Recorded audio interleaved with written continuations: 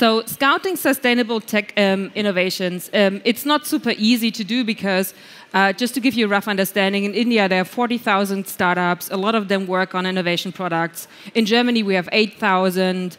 Worldwide there are 400 to 500,000.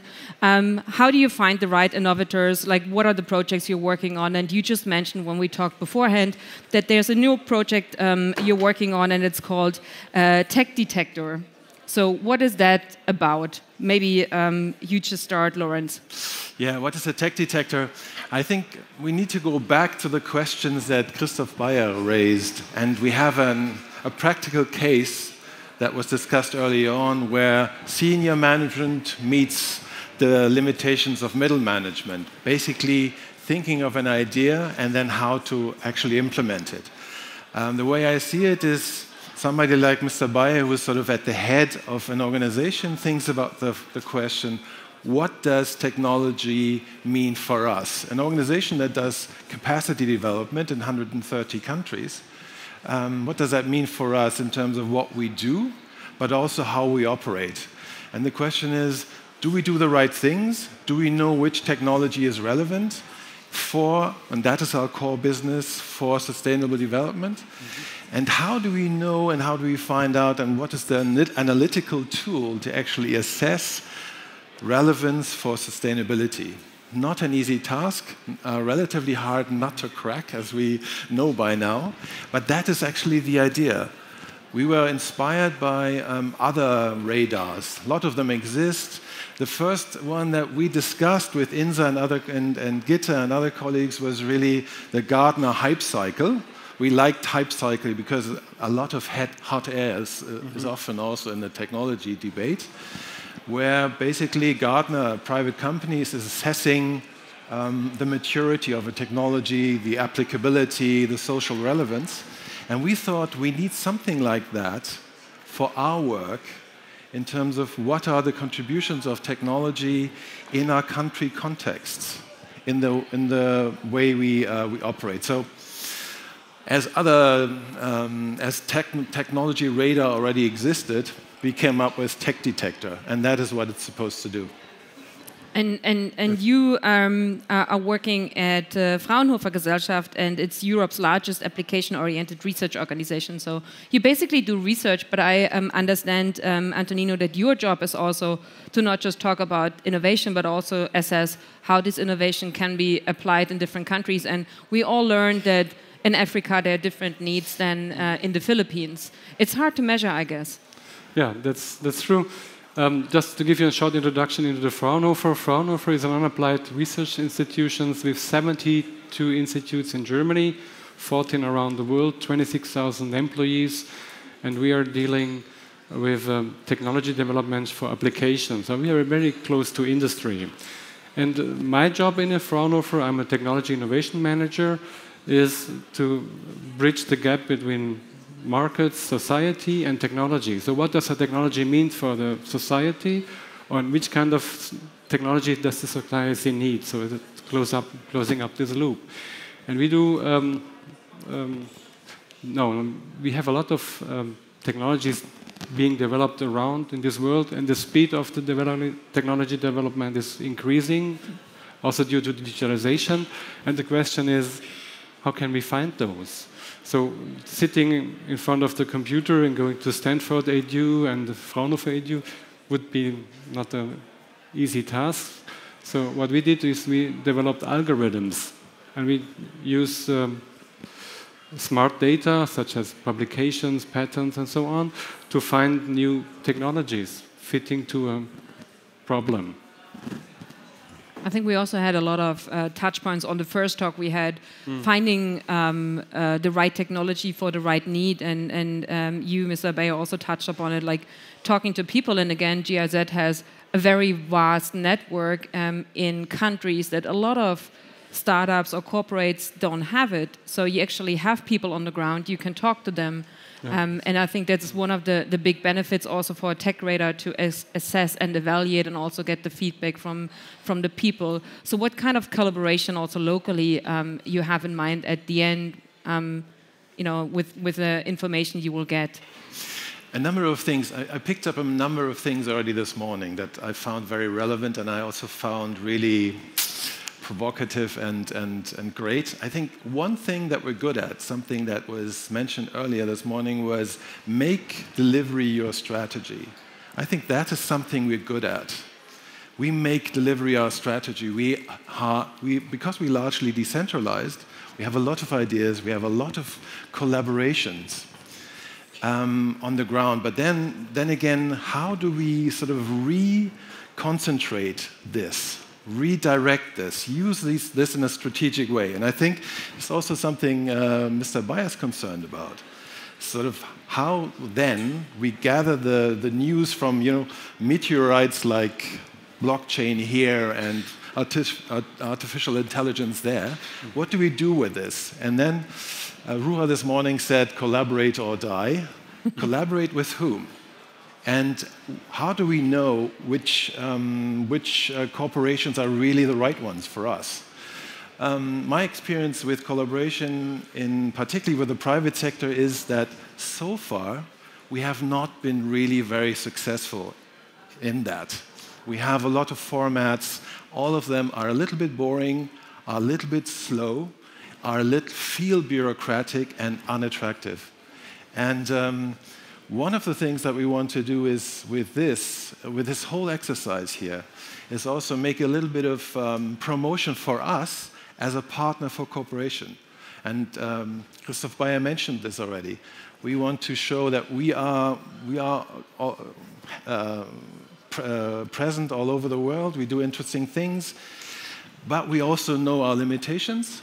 And knowing our limitations, we invite this cooperation to you all with us because we know that sort of not only the technological side of it, but also the, the inventive, creative way of cooperating, collaborating is something we want to advance with this. So collaborating is, is, uh, is really key. And uh, this is, the, for me, it's the starting signal, starting sign also to find better ways to, for more interesting, fascinating, fun, ways of cooperating. And I say this also in my new capacity as country director in Morocco.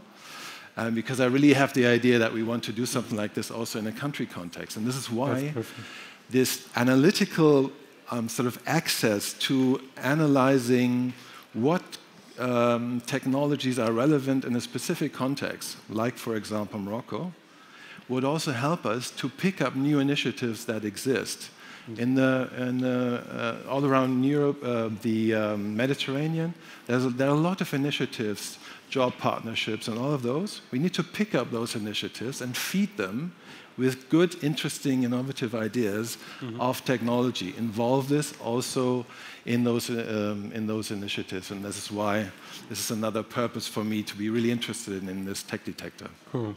Yeah, I also think, Antonino, so, you're also the expert in yeah, like the, right, so the, this, the tech Right. The, the aim of our collaboration, or the, the aim um, of Fraunhofer is to strengthen its position in technology innovation management by opening up the, the dialogue with politics, which works well, with industry, which works good, and also with society, which could work better. Well, and now we have a partner present in 140 countries around the world, really down to earth, which could give us feedback in, for example, what is a racial bias in a technology development? Because I'm not sure that every Fraunhofer guy or lady is aware about this, this, these topics. So I feel this is a very good initiative uh, and a, a, start of a, of a, big collaboration. And I'm very honored, Lorenz and uh, Dr. Beier, to be part of the founding team. Yeah, we also talked a little bit about collaboration as a key for innovation, mm-hmm. um, but we all know that collaboration is not super easy. I know GIZ has done collaboration on many different levels for a while in different countries, but again, it's not easy. And also Fraunhofer um, has done it. What are the, the, the, key learnings from that kind of collaboration so far? Uh, what do you think are the, the key success factors for bringing these kind of partners together? Because it's a pair that is quite unusual. Uh, a research organization also focusing on bringing technology to new business models, and um, um, but so far not focusing on sustainability and emerging markets. And then GIZ bringing in uh, a totally different vibe. Um, mm -hmm. Like what are the, the, the, the, the learnings so far, or what are the feelings so far? Okay, so we have implemented such tech detectors, we call them Trend Arena, within Fraunhofer for an automotive cluster, and outside also, for example, for a fintech uh, industrial cluster, where we mapped the technology fields and the technologies according to the relevance of those uh, uh, companies. And the common learning was that uh, um, bringing those people all together on a table and let them speak about future uh, starts to get them sensitized about, oh, there is maybe also other way on how we could solve our problems. There are other technologies. And you can start to see them discussing, discussing about the future and looking about on the trends and seeing what kind of impact does this trend have for my business, for, for my country where I am, and even for my own life. So that's, that's one of the key uh, points. And having a platform where you can go back and forth and where you can see also the developments of the developments could give you also um, a feedback on, for example, oh, this technology starts to get much more interesting because of something happened. I felt that a number of presentations this morning resonated really um, with my impression of what sometimes are the shortcomings of our way of working. Um, Ruha had, an, had, I think, nine rules of how to co cooperate, collaborate effectively, and I think all of them um, we as GIZ should take to heart. I think a number of them are very, they, they hurt even, but um, I think they're important. One thing that I realized as GIZ, in cooperation with uh, research organizations, we have a different rhythm. Mm -hmm. It's um, we need products faster, we need results faster, we cannot wait until a final report. Actually, the final report is not even relevant for us. Mm -hmm. It's more how can we put things into practice? How can we, can we try them out? Mm -hmm. And for me, um, one learning thing within this community is also I take away that this community is often, in my impression, much better in really trying to do be faster, uh, creating more prototypes, um, working more um, into, on the one hand, making delivery the strategy, but also going faster into actually trying out things. And um, yeah, overcoming middle management like me as an obstacle is obviously another one, but um, I think it's, it's really we have to be, um, we have to take more risk as well, which is something that is um, at the same time I'm really aware in my new role that uh, the limitations are also very they're very much there as sort of a, a government-owned company that there are strong sometimes um, a feeling that we are in a straitjacket but I think we should really um, try out to take more risks, be more flexible, use the space that we have, and really speed is uh, of the essence, I think. It's very interesting because um, I'm, I'm, from Berlin, and every 20 hours a startup is born, and everybody's like, "Yeah, super cool." Or I work with Israeli startups, and um, they come and tell me, "Oh, I have 20 different business ideas. If, if the one idea I'm working on is not working out, um, I do a second one, and the third one, and the fifth one, and the sixth one, and and then you are like suddenly on the 20th idea." And I also wonder, how is it working? I mean, even in my head, to separate all these ideas um, when they tell me about it, it's super hard. Um, and you mentioned like German angst and, and, and the way we work. Uh, but we have a lot of great people here um, also on stage that are like, just do it, just just pick it on. And, and I also get the impression that um, the tech detector is also something that will definitely give more transparency, which of course is important. Mm. But then important is also what comes next. So, how are the learnings? I mean, we have two eager people here on stage that are super keen on sharing that knowledge and also share it within the GIZ community to actually make something out of it. Um, but there also is always the risk um, that you know people mistreat um, innovation and it's very important to have that, that kind of um, transparency. Do you have any vision what you would love to do with that that um, kind of uh, uh, information you have at the end? Yeah, you know what I would love to do if we do trend arenas. Uh, we describe the technology as very uh, key performance indicator driven. The um, energy consumption is 3 watts, the um, uh, Wirkungsgrad is 50%, and so on and, and that, these are numbers which are interesting for an engineer. but not for someone who's, uh, let's say, on the ground and wants to make projects. So my vision would be to have a platform with technologies where the technologies are uh, described needs-driven. Which need do they address? Which benefit do they provide to which stake, uh, stakeholder? To the guy on the field, to the government, to the industry, and so on. This would be my, my vision of this platform.